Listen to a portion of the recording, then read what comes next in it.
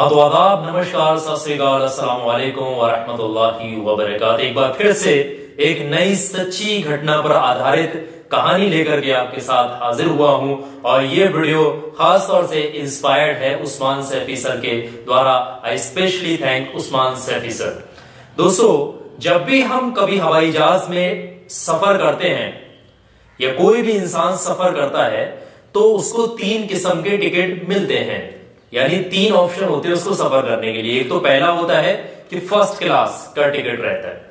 दूसरा होता है बिज़नेस क्लास का और तीसरा होता है इकोनॉमी क्लास का। जो फ़र्स्ट क्लास है, उसमें बड़े अमीर, जो बड़े अमीर बिजनेसमैन होते हैं, बड़े रईस ज़्यादा होते हैं, वो लोग उसमें सफ़र करते हैं और उनके कंपार्टमेंट उनके रूम खासतौर से अलग सेपरेट बने हुए होते हैं। और जो बिज़नेस क्लास होती है, उसमें भी अमीर लोग ही सफ़र करते हैं।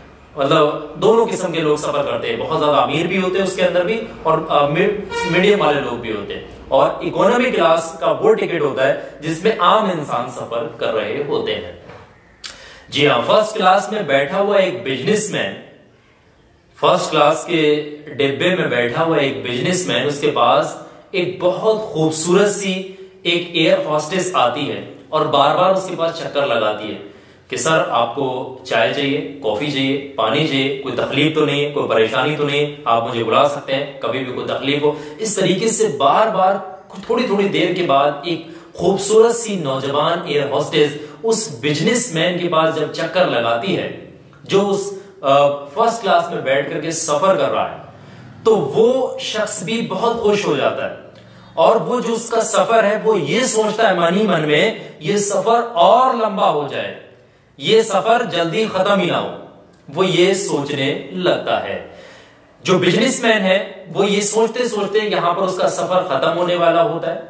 और जब उस बिजनेसमैन का सफ़र खत्म होने वाला होता है तो वो चलते वक्त, यानी जाने का, जब उसका उतरने का वक्त आ जाता है तो ऐसे में अपनी पॉकेट में से एक कार्ड निकाल कर देता है। विजिटिंग कार्ड होता है उसमें खासतौर से मोबाइल नंबर वगैरह मेंशन होते हैं। और वो उस खूबसूरत सी एयर हॉस्टेस से बोलता है, ये मेरा कार्ड है। कभी भी तुम्हें ज़रूरत लगे, कभी भी मुझसे बात करना हो तो ये नंबर है, आप मुझे बेझिझक कॉल कर सकती हैं। और ये बात बोल करके वो बिजनेसमैन वहाँ से रवाना हो जाता है। और वो एयर हॉस्टेस जो खूबसूरत सी एयर हॉस्टेस है, वो उस कार्ड को रख लेती है।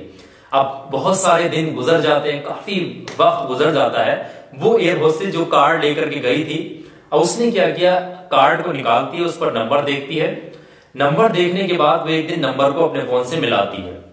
उस बिजनेसमैन से धीरे धीरे बातचीत करना शुरू करती है। हँसी मज़ाक होना शुरू होती है, दोनों में आपसी बातचीत होना शुरू होती है। बातचीत होते होते दोनों एक दूसरे के क्लोज आना शुरू हो जाते हैं और इतने क्लोज आना शुरू हो जाते हैं कि वो एक दूसरे से बातचीत करते हैं कि अब हम मिलकर के बातचीत करेंगे, बैठ कर के बातचीत करेंगे। किसी कॉफ़ी सेंटर में, किसी रेस्टोरेंट वगैरह में, कहीं होटल वगैरह पे बैठ करके हम नाश्ता पानी करेंगे, खाएँगे पिएँगे और बातचीत करेंगे। दोनों में आपसी सहमति बन जाती है और वो दोनों एक दूसरे से मिलने के लिए आ जाते हैं। बैठते हैं, खाते हैं, पीते हैं और मुलाकात इतनी गहरा जाती है कि दोनों की आपसी सहमति बन जाती है और ये आपसी सहमति बनने के बाद दोनों एक होटल में जाते हैं और होटल में जाके एक दूसरे के साथ शारीरिक संबंध जो है वो बनाते हैं। शारीरिक संबंध बनाने के बाद वो बिजनेसमैन वहाँ से जाने वाला होता है तो उसको एक हज़ार पाउंड अपनी जेब से निकल वो तो बड़ा बिजनेसमैन है। वो तो उसके लिए एक हज़ार पाउंड कुछ नहीं होते। उसने अपनी पॉकेट में से पर्स निकाला, एक हज़ार पाउंड उसको पकड़ा दिए। अब एक हज़ार पाउंड को जब इंडियन करेंसी में कन्वर्ट किया जाए तो वन ज़ीरो फाइव रुपीज़ पर पाउंड के हिसाब से कैलकुलेट करें तो एक लाख पाँच हज़ार। जब उसने दिमाग लगाया और पाउंड को कन्वर्ट किया और उसने एयर हॉस्टेस ने जब कन्वर्ट किया तो उसने दिमाग में उसने कहा तो मेरी दुनिया ही बदल गई। मैंने इस शख्स के साथ महज कुछ ही घंटे गुजारे हैं और इन कुछ ही घंटों में एक लाख पाँच हज़ार। और जॉब में तो दूर दूर तक इतने पैसे नहीं है। और वहाँ खाने को भी मिल रहा है, पीने को मिल रहा है, एक लाख पाँच हज़ार। वो ये सोच में पड़ जाती है और सोचते सोचते उसके दिमाग में आता है, ये टर्निंग पॉइंट है, यहाँ से ज़िंदगी बदल सकती है और उसके दिमाग की बत्ती जल जाती है। वो दिल मन ही मन में खुश होती है और बोलने लगती है अब मेरा वक्त बदल गया है। एक लाख पाँच हज़ार रुपए सीधे करने के बाद अपनी जेब के, यानी अपने पर्स के अंदर वॉलेट के अंदर वो डालती है। दोबारा से अपनी जॉब पर वापस चली जाती है। अब जब भी उसको कहीं फ्लाई करते समय मौका मिलता तो वो फ़र्स्ट क्लास में जाके इसी तरीके के अमीरों को बिजनेसमैनों को तलाशना शुरू कर देती, क्योंकि अब उसको चस्का लग चुका था। इतने पैसे कमाने का। दोस्तों, होता क्या है कि वो जब फ़र्स्ट क्लास में जाया करती थी तो लोगों की नज़रों पर नज़र डाल करके, आँखों में आँखें डाल करके उनको पहचान लिया करती थी। उनके बात करने के तरीके से पहचान लिया करती थी, क्या इस शख्स को वाकई में किसी लड़की की ज़रूरत है या मेरी ज़रूरत है? वो इन चीज़ों को पहचान लिया करती थी ऑब्ज़र्व कर लिया करती थी। और जब वो ऑब्ज़र्व कर लिया करती, उसको लगता था हाँ इसको वाकई में ज़रूरत है तब वो क्या करती थी? उसके पास बार बार चक्कर लगाती थी। बार बार उसको फैसिलिटी प्रोवाइड करने की कोशिश करती और खासतौर से ये उसको फील करा देती थी कि मैं तुम्हारे लिए यहाँ मौजूद हूँ। उस शख्स को बिजनेसमैन को जो भी हुआ करता, इसकी आँखें पढ़ लिया करती थी। वो उसको ये फील करा देती तुम जो चाहें, वो कर सकते हो, जो चाहे, वो मांग सकते हो, मैं तुम्हारे लिए यहाँ मौजूद हूँ। वो ये फील कराया करती थी। तो दोस्तों, इस तरह से कुछ ही महीनों में विद इन सम मंथ्स उस लड़की ने तहलका मचा के रख दिया, पूरे देश के अंदर ही तहलका मचा दिया और विदेशों तक में तहलका मचा के रख दिया। ये कहानी सच्ची घटना है, सच्ची स्टोरी है। ये कहानी है वियतनाम एक देश है, उसका एक शहर है जिसका नाम है हो ची मिन। एक शहर का नाम है, उस शहर में एक इंटरनेशनल एयरपोर्ट है। ये घटना उसी इंटरनेशनल एयरपोर्ट की है और ये घटना है 9 अगस्त 2023 की। जी हाँ, अब से सिर्फ़ और सिर्फ़ 18-20 दिन पहले की ये घटना और रात एक बजे की सच्ची घटना है। सिलसिलेवार तरीके से सब कुछ आपको समझाएँगे। इस कहानी को आखिर तक ध्यान से सुनेगा। ये कहानी आपकी आँखें खोलने पर मजबूर कर देगी आपको। जी हाँ दोस्तों, उस इंटरनेशनल एयरपोर्ट के पास में एक फाइव स्टार होटल है। उस इंटरनेशनल एयरपोर्ट से जो फाइव स्टार होटल है वहाँ से पुलिस को एक खुफिया तरीके से फ़ोन जाता है रात के एक बजे के पास कि पुलिस आए फला फला कमरे नंबर को चेक करे और यहाँ पर कुछ इलीगल एक्टिविटीज़ हो रही हैं, कुछ अव्यवहारिक गतिविधियों को अंजाम दिया जा रहा है चार कमरों के अंदर। तो कृपया पुलिस यहाँ पहुँचे। ये किसी खुफिया तरीके से किसी ने कॉल की। अब पुलिस ने किया क्या? तत्काल उस पर एक्शन लिया और पुलिस ने वहाँ पर उस होटल में फाइव स्टार होटल में, जो इंटरनेशनल एयरपोर्ट के पास था, वहाँ पर रेड डाल दी। रेड डालने के बाद उन चारों कमलों को जो है फटाफट से उन पर जो है अपना जो है कब्जा किया और जैसे ही खोल करके देखा तो पुलिस भी वो सीन देख करके हैरत में पड़ गई। क्योंकि उन चारों कमरों के अंदर मौजूद थे बड़े अमीर, चार बिजनेसमैन और साथ में चार एयर हॉस्टेस हर कमरे के अंदर एक बिजनेसमैन एक हेयर हॉस्टेस दूसरे के अंदर भी सेम तीसरे में भी सेम इसी तरीके से चारों कमरों में अलग अलग बिजनेसमैन अलग अलग एयर हॉस्टेस पुलिस ने फ़ौरन उनको गिरफ़्तार कर लिया और उसी वक्त उन चार बिजनेसमैन और चार एयर हॉस्टेस के साथ कड़ी पूछताछ करना शुरू कर दी, जब पुलिस उन सबसे सिलसिलेवार तरीके से पूछताछ कर रही थी। तो चारों एयर हॉस्टेस के मुँह से चारों एयर हॉस्टेस के मुँह से एक लड़की का नाम बार बार आ रहा था।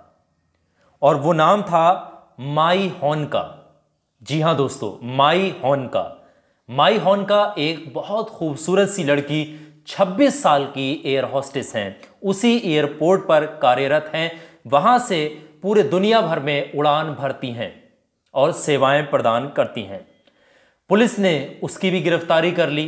गिरफ्तारी करने के बाद मालूम यह चला कि माई हॉन का नाम की जो लड़की है, वो बहुत खूबसूरत है। उसके सोशल मीडिया पर, फेसबुक पर, इंस्टाग्राम पर, और भी सोशल मीडिया पर जो है उसके अकाउंट बने हुए, ऑफिशियल्स अकाउंट बने हुए, उसके फ़ोटोज़, पिक्चर्स वहाँ पर अवेलेबल हैं। जब उससे पूछताछ की गई तो वो ये बताती है, और उससे ख़ास तौर से ये पूछा गया, ये सफ़र तुमने क्यों शुरू किया? ऐसा कहाँ से शुरू किया? ये क्यों ज़रूरत पड़ी तुम्हें? तमाम सवालात करने के बाद वो पुलिस को जवाब में ये बताती है कि जब वो पहली बार सफ़र कर रही थी फ़र्स्ट क्लास में, समझ रहे तो एक बिजनेसमैन ने उसको ऑफ़र दिया और उसके साथ वो एक होटल में गई जिसके बदले में, जिसके मुआवजे में उसको एक लाख पाँच हज़ार रुपए मिले। उसके बाद से उसना, उसका दिल और दिमाग दोनों बदल गए। उसका सोचने का नज़रिया बदल गया, क्योंकि इतने सारे पैसे उसको मिले थे और साथ साथ उसने क्या किया? उसने अपनी फ़ीस को बढ़ा करके एक हज़ार पाउंड से दो हज़ार पाउंड कर दी यानी पहले जब वो बिजनेसमैनों को फंसाया करती थी, वो बता, खुद बताती अपनी जुबानी तो वो पहले शुरुआत में उनसे फ़र्स्ट टाइम के एक हज़ार पाउंड लिया करती थी और उसके बाद में जब उनको चस्का लग जाया करता था, फिर उसके बाद में वो क्या करती थी कि अपने जो है रेट बढ़ा करके दो हज़ार पाउंड यानी इंडियन करेंसी के अकॉर्डिंग दो लाख दस हज़ार रुपए कर दिया करती थी।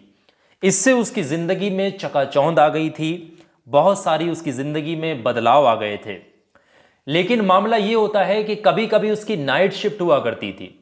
कभी नाइट शिफ्ट हुआ करती थी, कभी उसका बिजली शेड्यूल हुआ करता था, कभी उसको नहीं जाने को मिला करता तो ऐसी बहुत सारी चीज़ें हुआ करती थी तो उसने क्या किया? और लड़कियों की तलाश शुरू कर दी।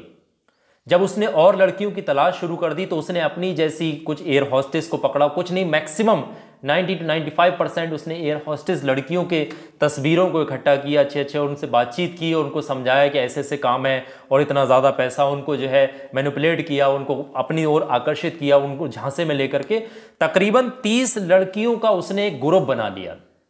जी हाँ तीस लड़कियों को उसने अपने ग्रुप में शामिल कर लिया और अगर वो खुद जाया करती थी तो उसकी जो फ़ीस थी वो दो हज़ार पाउंड थी और इसी में वो 300 पाउंड का कमीशन लिया करती थी, किसी लड़की को अगर भेजा करती थी, किसी बिजनेसमैन के साथ में।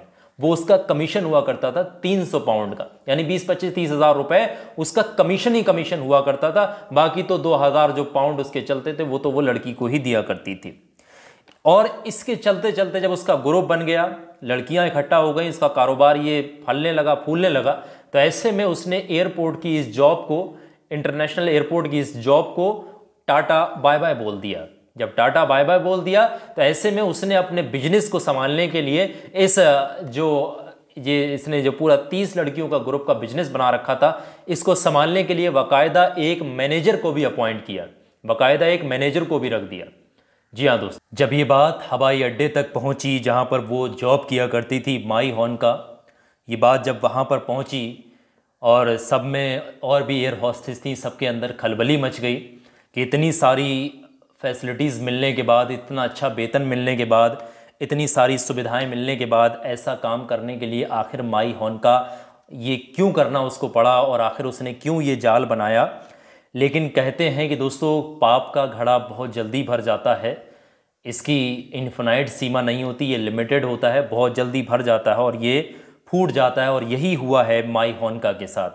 जब इसकी पूरी डिटेल निकाली गई, मालूम ये चला कि इसने महज तीन महीने के अंदर साढ़े चार करोड़ से ज़्यादा रुपए कमीशन सहित कमा लिए थे। इस जो है इलीगल धंधे के अंदर साढ़े चार से पाँच करोड़ रुपए तक इसने कमा रखे थे सिर्फ़ तीन महीने के अंदर, जिससे जहाँ पर वो रहती थी, वहाँ के लोग भी खटकने लगे थे, क्योंकि इसके रहने के तौर तरीके, पहनने के, उठने बैठने बैठने के गाड़ियाँ, सारी चीज़ें बदल चुकी थी।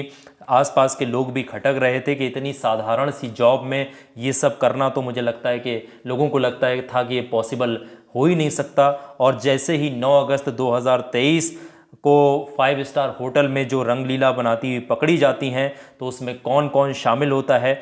और इसके पीछे पुलिस कड़े एक्शन लेने के लिए तैयार भी है। ये पुलिस अभी जो है वो छानबीन कर रही है। तो दोस्तों, इस घटना को सुनाने का, इस घटना को बताने का उद्देश्य हमारा ये नहीं है कि किसी को दिल दुखाना, किसी का या ठेस पहुंचाना या किसी को नुकसान पहुंचाना, किसी को परेशान करना हमारा उद्देश्य नहीं है, बल्कि सच्ची घटनाओं से आप लोगों को तक को परिचित करना है कि समाज के अंदर लोग क्या क्या कर रहे हैं किस किस तरीके से किस किस हद से गुजर जाते हैं, किसी भी चीज़ को पाने के लिए पैसे के लालच में लोग कहाँ से कहाँ पहुँच जाते हैं, इस घटना को बताने का हमारा सिर्फ़ मकसद यही है। और इस घटना का बताने के लिए स्पेशल क्रेडिट देते हैं मुस्मान सैफी सर को, जिन्होंने इस घटना को बहुत अच्छे तरीके से एक्सप्लेन किया हुआ है। अगर आप चाहें तो उनके यूट्यूब चैनल पर जा करके ये स्टोरी को और अच्छे तरीके से सुन, पढ़, देख और सारी चीज़ें कर सकते हैं उनके चैनल पर जा करके वीडियो अच्छी लगी तो लाइक करिएगा और इसी तरीके की कहानियाँ सुनने के लिए हमारे चैनल को ज़रूर से सब्सक्राइब कर लेगा। वीडियो देखने के लिए आप तमाम लोगों का बहुत बहुत शुक्रिया।